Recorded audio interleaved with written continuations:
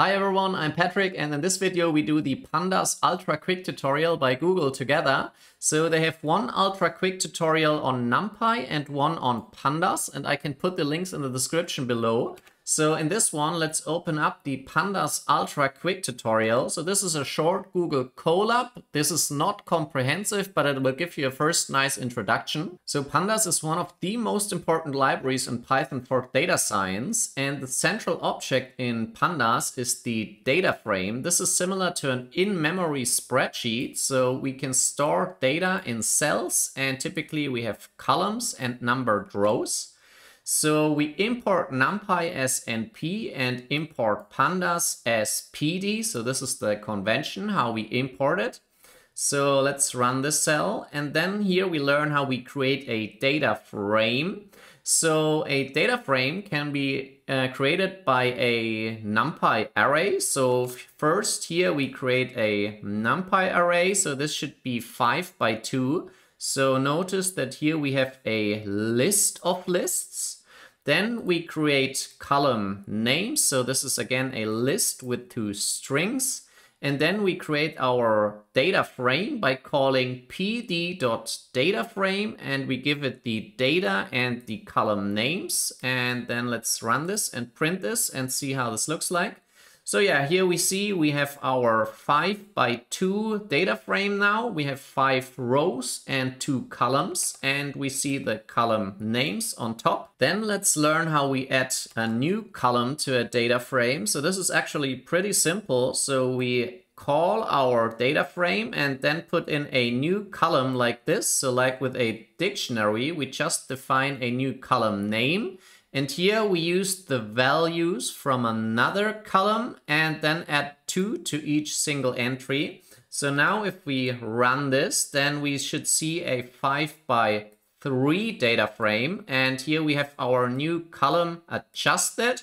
And if we compare it to the activity column, then each value is increased by 2. Now to specify a subset of a data frame, we have different options. So in the first example, we want to access the rows 0, 1, and 2, and we can get this by calling data dataframe.head and then 3. So we put in the number of rows we want. Then if we only want a specific row, we can call dataframe.head iloc and then the number of the row and um, be careful here. So here we use a inner list for the index. So then we get the whole row 2. Then if we want specific rows from 1, 2 and 3 and not from the beginning, we can put in my data frame and then access it like list slicing from 1 to 4 excluded. And if we only want to have a column, we can access it by the column name, like so, so like with a dictionary. So let's run this. And then here we see the first example, only the first three rows, then here only row two, here rows one, two, and three, and here only the column temperature. So then we get a first task that we should do. So we should do the following. Create a 3 by 4 pandas data frame with these column names. Then we should populate the cells with random integers. Then we should output the entire frame and output only row 1 of the Eleanor column. And we should create a fifth column named Janet, which is populated with the row by row sums of two other columns. So I recommend that you pause this video here and do this exercise for yourself. And then we see each other in a moment. All right, so I've written the code here. So first I define the column names as a list of strings. Then I define the data. So for this, we can use a function from numpy, numpy.random.randint with the low 0 and the high 101. So be careful here because we want 100 included. Then we define the size. So here we want to have a 3 by 4 shape. Then we define our data frame like this. So pd.dataframe and give it the data and the column names. Then we should print this Then we should print the value in row one of the Eleanor column so we can access the column so simply with the key and then we can access the row with the one here.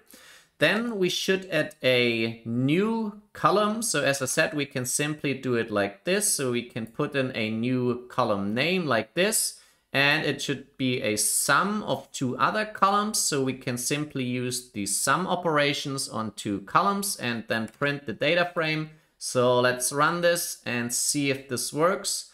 And if we double click and see the solution, then I think they did pretty much the same. Yep, and here's an optional part about copying a data frame. So with this, we have to be careful. And this is the same as when we want to copy Python lists or NumPy arrays.